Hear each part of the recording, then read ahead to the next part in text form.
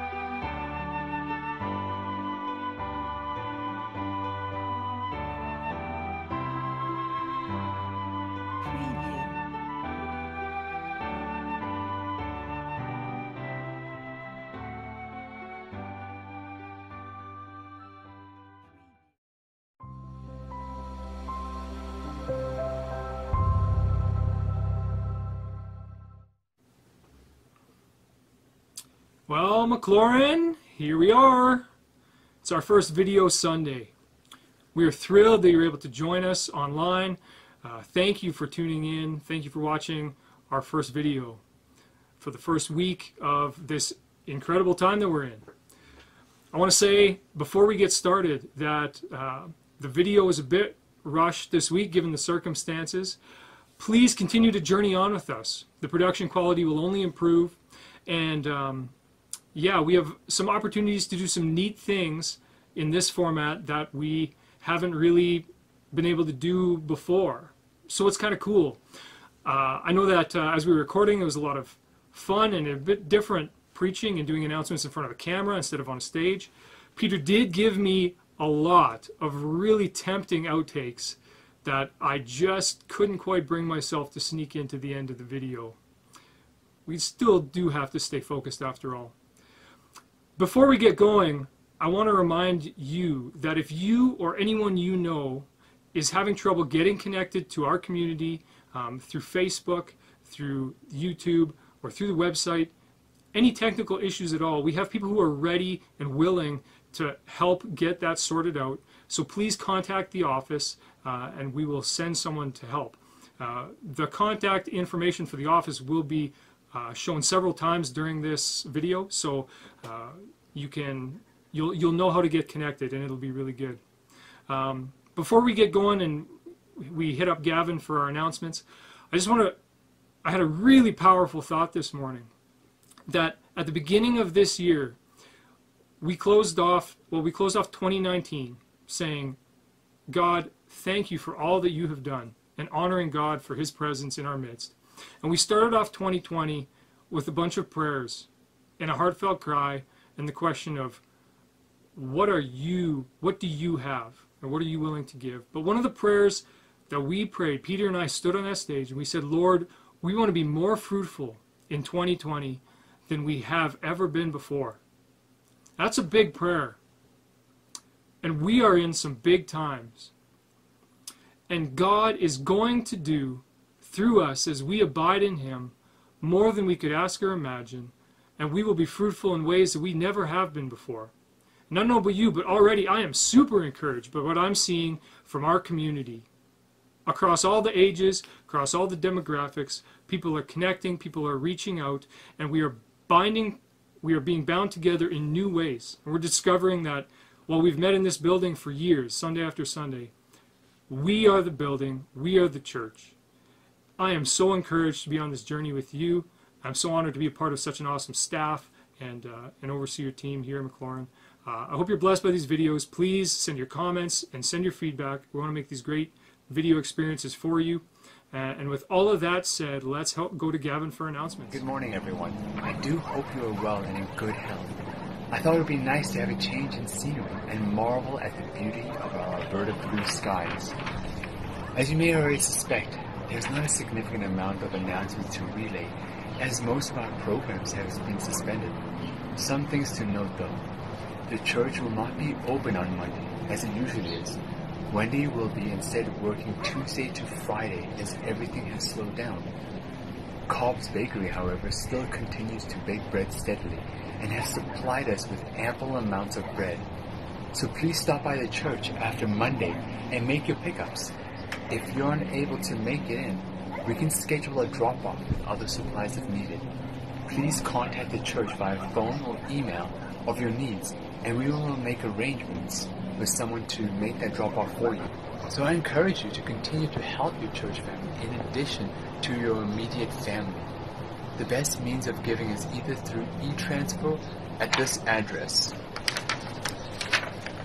Donate MBC Gateway at gmail.com or preferably automatic withdrawals which can be set up if you contact us. If neither are an option, the church will be open Tuesday through Friday, where you are free to drop off your envelopes in the donation box.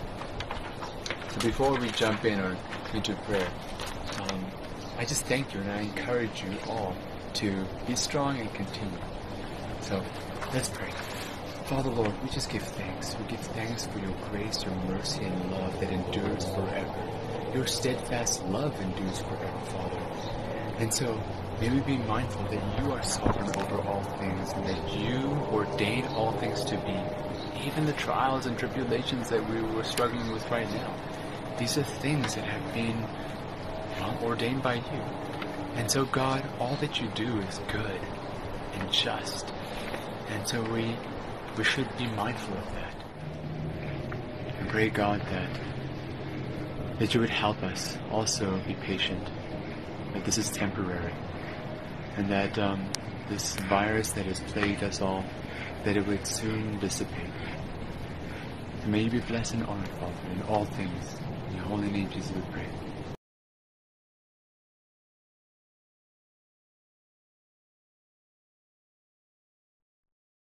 It's Jesus' performance that is transferred to my account when I receive him by faith. That's why Paul labors the point that our justification is given to us freely as a gift of the Father. That God calls me just before he makes me just.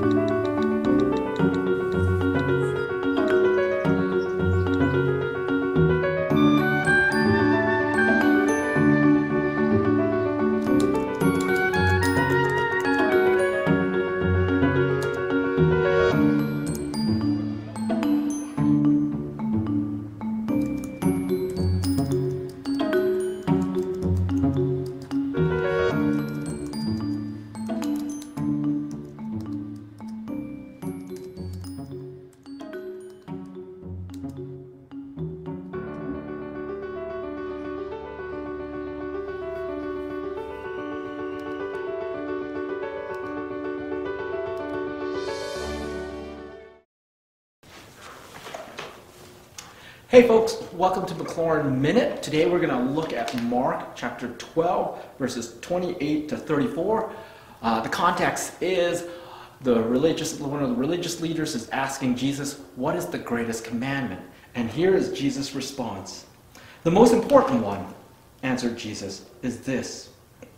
Hear, O Israel, the Lord your God, the Lord is one. Love the Lord your God with all your heart and with all your soul and all your mind and all your strength. The second is this love your neighbor as yourself. There is no commandment greater than these. Well said, teacher, the man replied. You are right in saying that God is one and there is no other but him. To love him with all your heart and with all your understanding and with all your strength, and to love your neighbor as yourself is more important than all burnt offerings and sacrifices. Then Jesus saw that he had answered wisely. He said to him, You are not far from the kingdom of God. And from then on, no one dare ask him, Jesus, any more questions. May the Lord bless this reading of his word. What I find amazing about that story is that we can bring to Jesus all of our questions and concerns, and He doesn't turn us away. And in, during this season of life, I know that we have, have lots of questions. We have lots of concerns. There's, there's thoughts and racing through our heads about what's kind of going on and what's the next thing. And yet, what encourages me most about that passage is that there is times when we need to lay aside all of our thoughts and all of our concerns and just enter into the presence of God. That we don't need to ask any more questions. Psalm 46, verse 10 says, Be still and know that I am God. And I think that's a great word for today that we can just be still and know that God is sovereign, God has all things under control, that we can rest in the finished work of Jesus. We know that death has no sting. We know that Jesus is sitting at the right hand of God, ruling and reigning. We know that He is creator and sustainer of all things. We can be still and know that He is God. That's life at McLaurin. Thanks for joining us for a McLaurin Minute. Amen.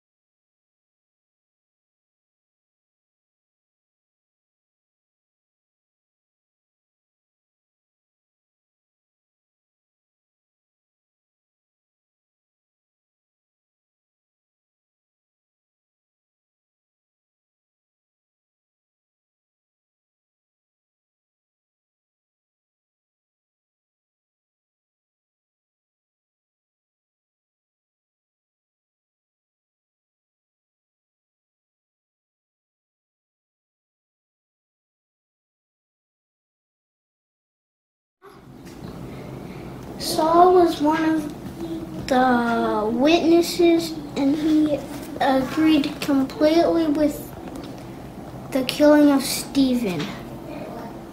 A great wave of persecution began that day, sweeping over the church in Jerusalem, and all the believers except the except the apostles were scattered through regions of Judea and Samaria. Some devout men came and buried, buried Stephen with great mourning. But Saul was going everywhere to destroy the church. He went from house to house, dragging out both men and women and to throw them into prison. But the believers who were scattered preached God, the good news about Jesus wherever they went. Philip, for example, went to the city of Samaria and told the people there about the Messiah. Crowds listened intently to Philip because they were eager to hear his message and see miraculous signs he did. Many evil spirits were cast out, screaming as they left their victims, and many men who who had been paralyzed or lame were healed. So there was great joy in that city.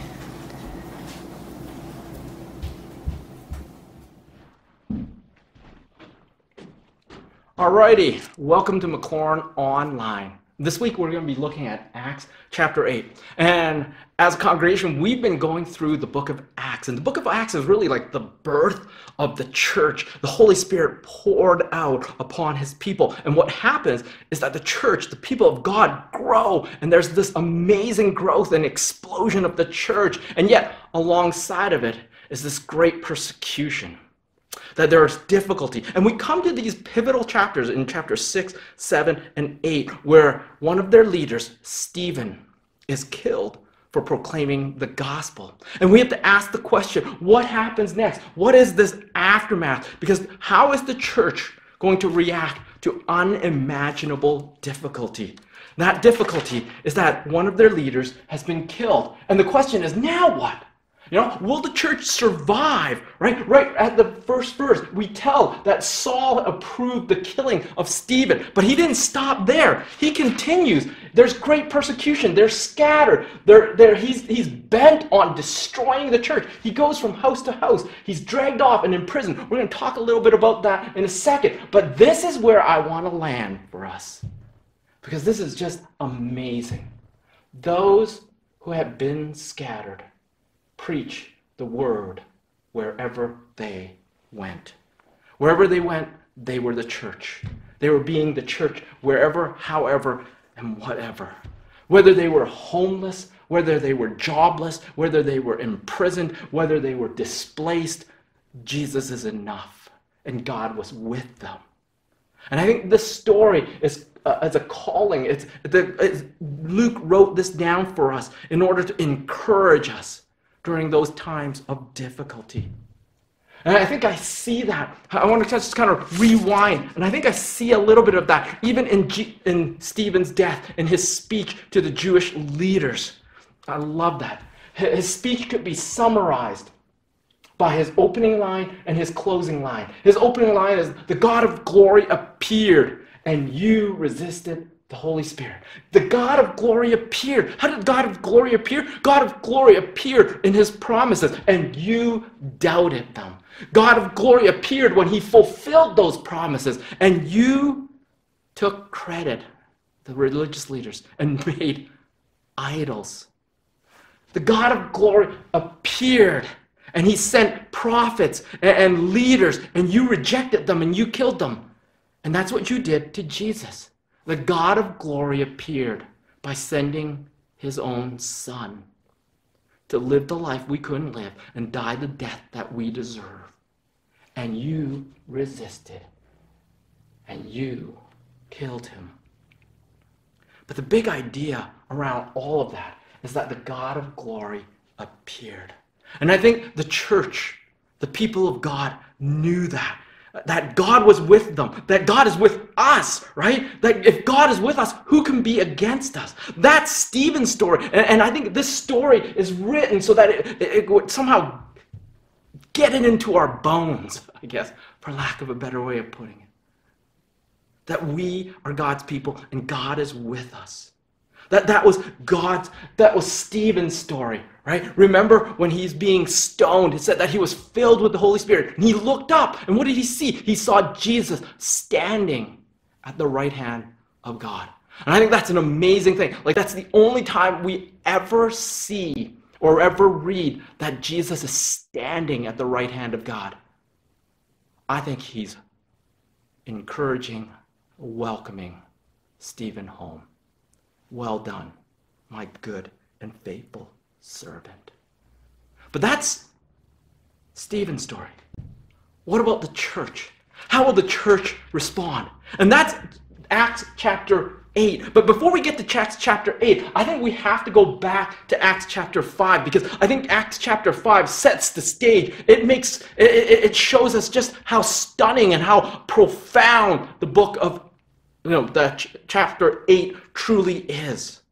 I think it's a, it, it- you have to read it in light of Acts chapter 5. Acts chapter 5 is when, the last time the disciples and the apostles are arrested. It says that the high priest and their associates filled with jealousy. So this isn't about right or wrong. It's about them being jealous. It's about them feeling like uh, the disciples and the apostles are more popular. They have more influence, or maybe they're being exposed for their phonies and their, you know, uh, they're, they're, they're, they're, they're being exposed as fakes. Because here's the reality the disciples are telling people about this new life. And I want to kind of double down on this or triple down on this, right? Like the disciples continue to proclaim this new life. That the gospel was not some sort of theology and up there. It wasn't about do's or don'ts. It was about this new life that Jesus was with them, that they knew that Jesus was with with them, that they were experiencing this, that they tasted what it meant that God was with them. This Holy Spirit, God coming down upon them. And what I really like about this story, and just as a quick aside again, is that the angel of the Lord appeared. They were let out of jail, and then they were told to go back to the temple courts to proclaim the gospel. It kind of feels like they go on went full circle. Like this is what this is how they got into jail by proclaiming the gospel in the temple courts. But I think that that's really a foreshadowing of Acts chapter 8. Let's keep going. It says that they brought them before the Sanhedrin and they, they remind them, We gave you strict orders not to teach. There's going to be consequences. There's going to be consequences. Why? Because you are determined to make us guilty of this man's blood. Once again, it's all about them and their image, and, they don't want to look bad. I love the, the apostles' response. We must obey God rather than human beings. Why? Because we are witnesses of these things. And so is the Holy Spirit, whom God has given to those who obey Him. Once again, you know, it's this courage and confidence in the presence of God for these disciples. I love that. But this is where it kind of gets interesting they the religious leaders don't know what to do. So they basically send the disciples uh, away for a little while. And they're kind of like deliberating like what are we going to do? And, and when they say what are we going to do? Gamaliel stands up. Gamaliel is a, as a pharisee he is uh, a teacher of the law. He is respected in the council the sanhedrin. And he stands up and he says you know what guys? We've seen this before. We've seen this before. There was this fellow named Theudas, right? He rallied a bunch of people, but he was killed and all his followers were dispersed. And we've seen this again in this fellow named Judas, and he was appeared and he said he was something. He was leading a band of people, and he too was killed, and his followers scattered. He's basically saying there's a pattern to all of this. Let's just apply some heat. Eventually, one of their leaders gets killed, and the movement dies. Apply heat, kill the leader, the movement dies. And we're going to be putting that. I think Acts chapter 8 is basically putting that to the test. The story in Acts chapter 5 ends by, say, by Gamaliel saying, You know what? Leave these men alone. Let them go. For if their purposes or activity is of human origin, it will fail. But if it's from God, you're not able to stop these men. You'll only find yourself fighting against God. Acts chapter 8. Acts chapter 8 is putting Gamaliel's theory to the test. In Acts chapter 6 and 7, we see the death of Stephen. And then it doesn't stop from there. It says that after that, on that day, what day is it? The day that Stephen is killed. A great persecution broke out. And all except the apostles were scattered. I want you to hold on to that for a second because I think that's really important. All except the apostles were scattered. The church is scattered, the apostles were not.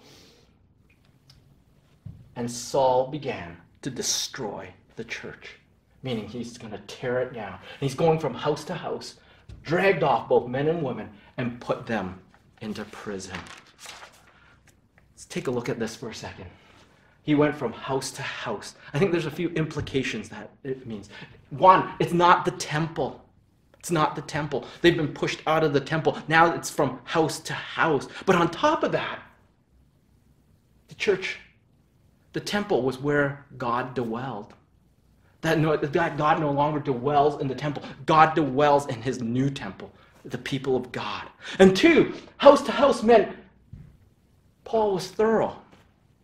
He was determined to bring an end to the church. And so he's going from house to house. He's not letting any stone be unturned. He's kind of kind of dragging all of the, the Christians and throwing them into prison. He wants to destroy this. And further, going from house to house should remind us of Acts chapter 2 and what the church looked like and what the church was all about. It should bring up memories of when the Spirit poured down upon the people they devoted themselves to the apostles' teaching, a fellowship, and breaking bread in their homes. And they prayed and they were ridiculously generous. And they never stopped meeting together. No temple, no house, doesn't matter if it was in prison, whether or not they were scattered, they never stopped being the church. They shared their lives.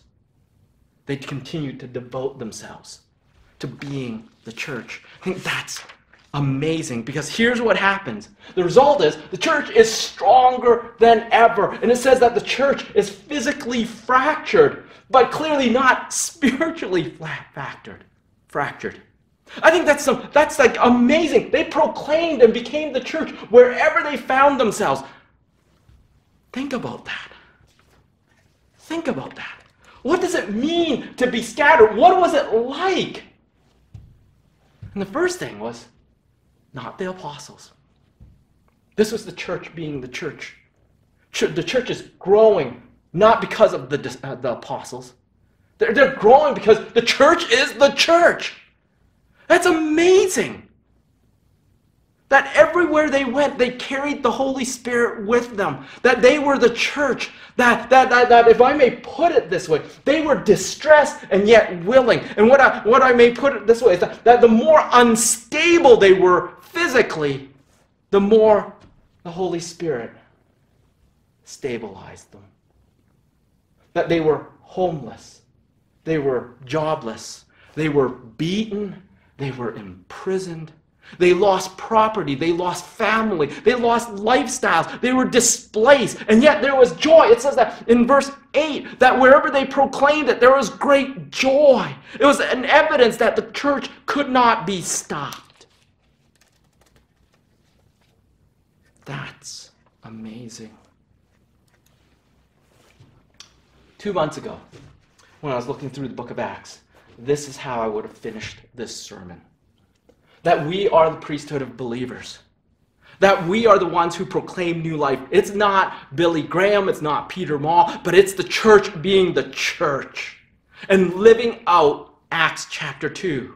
And I was going to read, and I think I still will, read a little section from a lady named Rosario Butterfield. She writes this amazing book called The Gospel Comes with a House Key.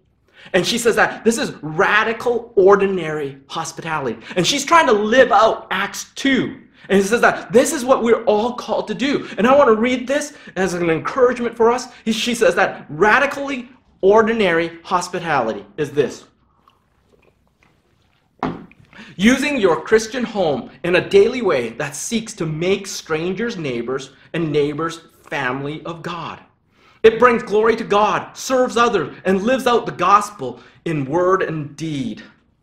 If you are prohibited from using your living space in this way, it counts if you support in some way some household in your church that's doing this.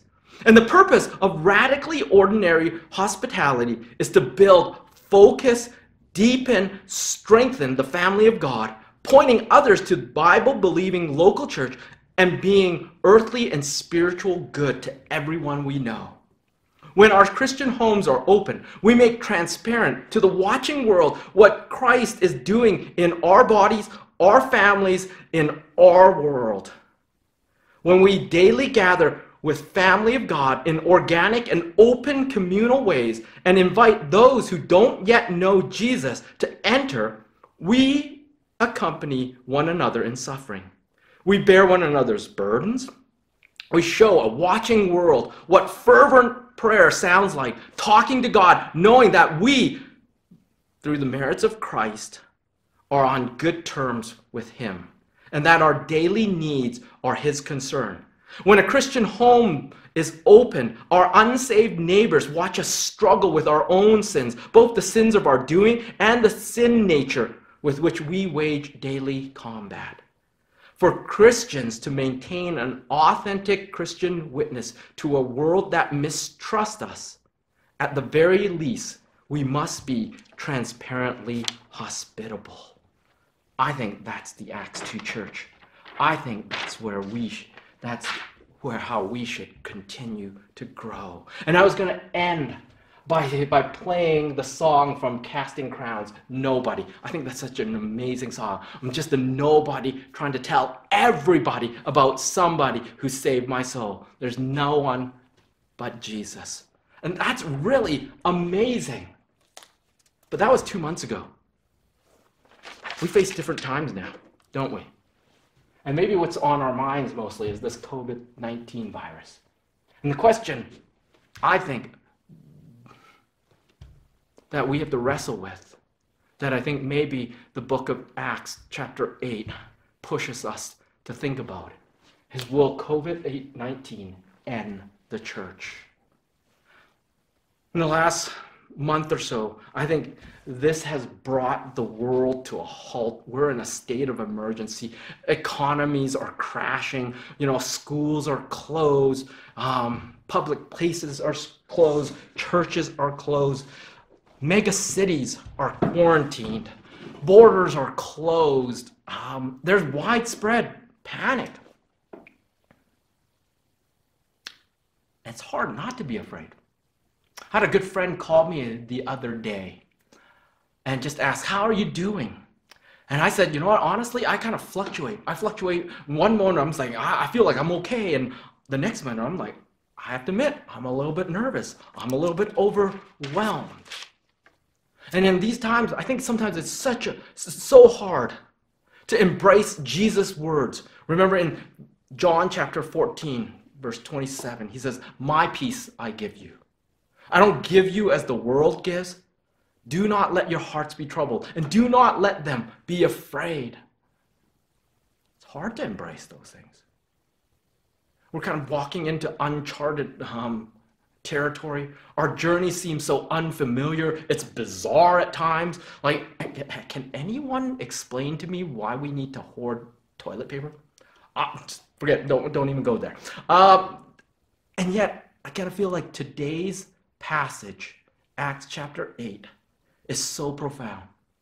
The big idea is that God is with us and we need each other and we are the church. It's echoing Jesus' words. In this world there will be trouble, but take heart. I have overcome the world.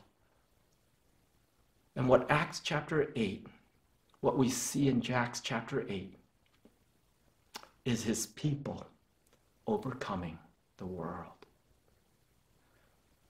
Social distancing doesn't equal isolation. Acts chapter 8, we see the people of God being displaced, dispersed. That didn't stop them from being the people of God.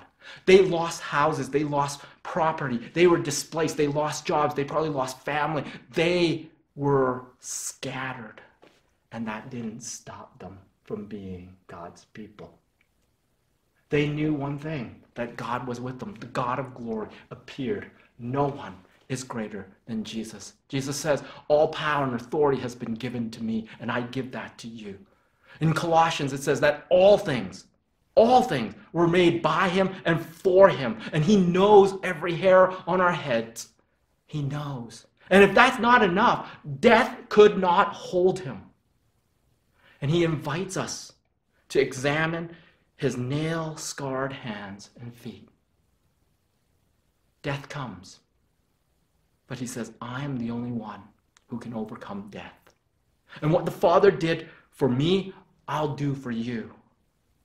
Christ in me, the hope of glory. And his perfect love drives out perfect fear. I don't think the church is. I don't think the church is a stranger to all of this. If you look at church history, it's one of the things that made the church the church. That the church was no stranger to plagues and epidemics and mass hysteria. In fact, the first church, according to Christian and non Christian accounts, grew because of how the Christians responded to disease and suffering and death. It was the reason why the church exploded in growth.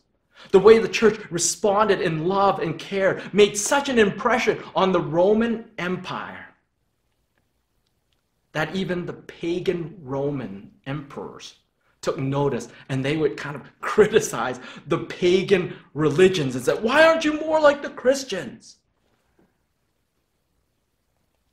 It's noted that in 249, a plague swept across Rome. And at the height of the plague, it says that more than 5,000 died each day.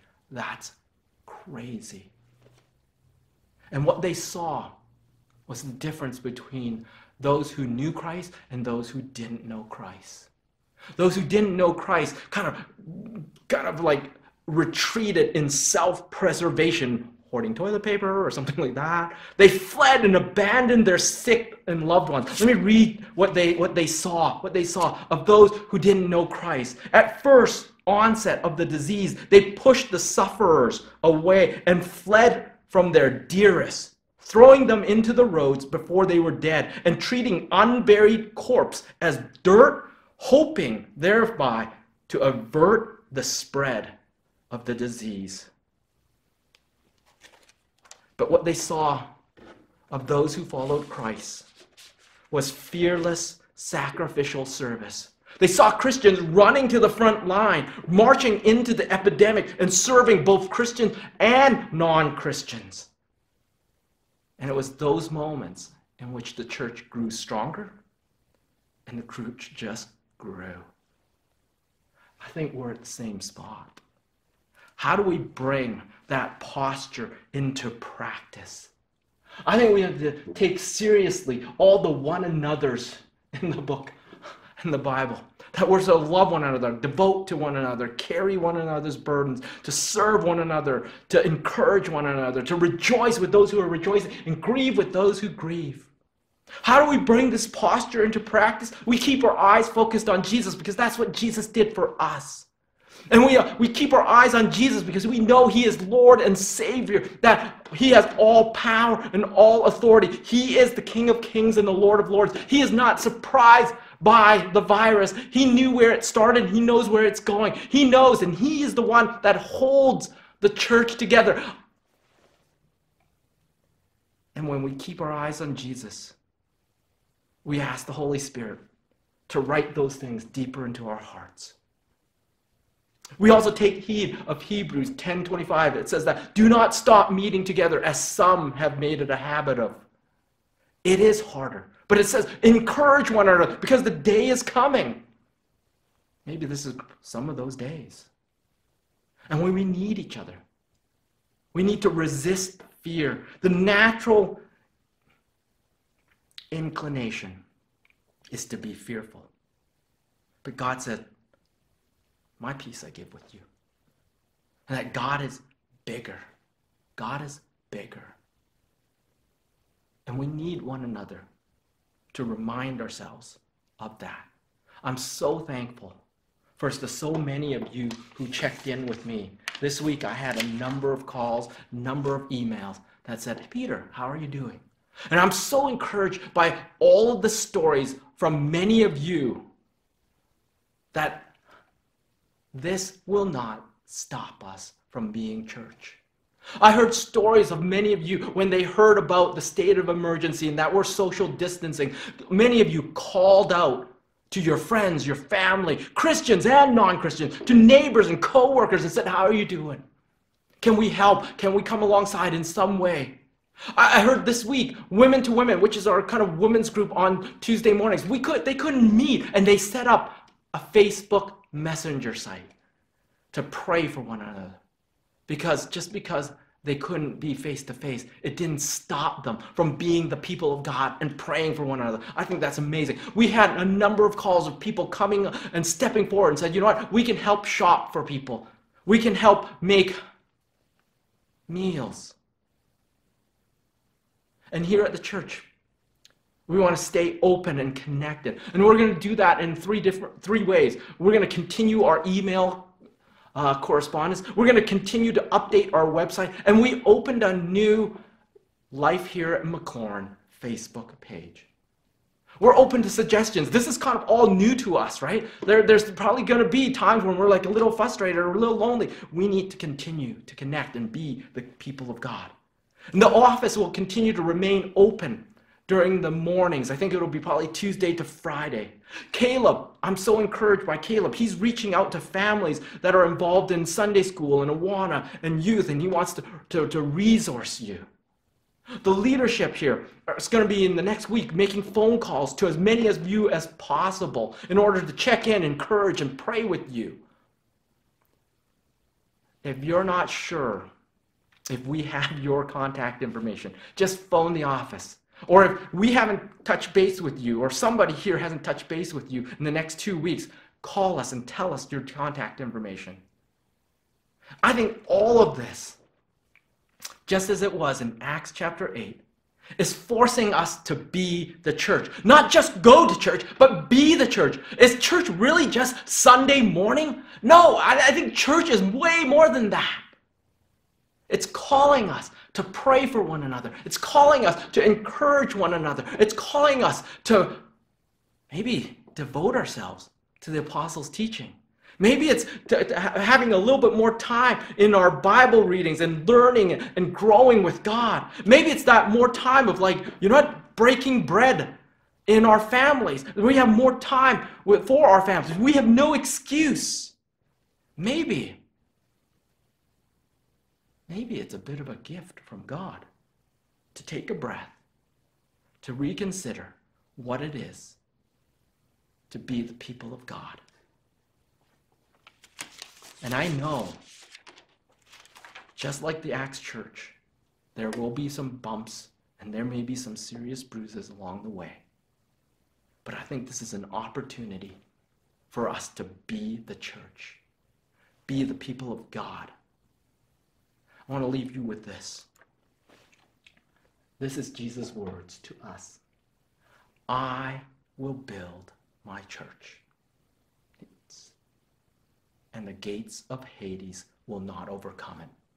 Jesus won't abandon us. Jesus is with us. And I want to see that. I want to, like, when I think about the gates of Hades, the gates are not an offensive weapon, the gates are a defensive weapon. That means that Jesus and the church is on the offensive. You are. I am the church.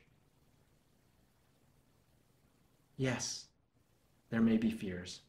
Yes, we may be displaced. But God has not abandoned us. We are the church. In this world, there will be trouble. Take heart, but I, for I have overcome the world. We are God's people. Let's pray. Heavenly Father, we just want to thank you. We praise you for just reminding us that you will never abandon us, you will never forsake us. And yes, there we may have some fears and we may have some concerns. And yes, we may feel like we're displaced. But we are never far from you. And I pray, Lord, that you would just write that in our hearts. That the God of glory appeared.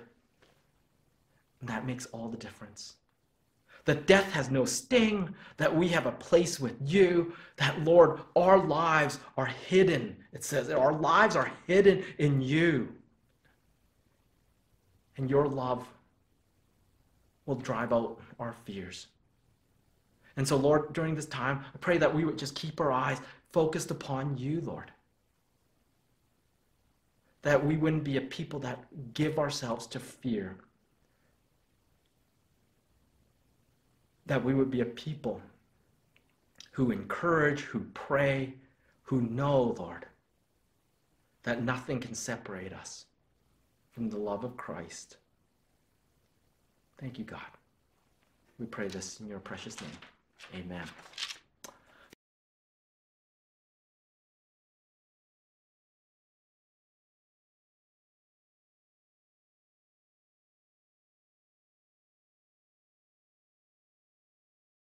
Just want to thank you for joining us for McLaurin Live online.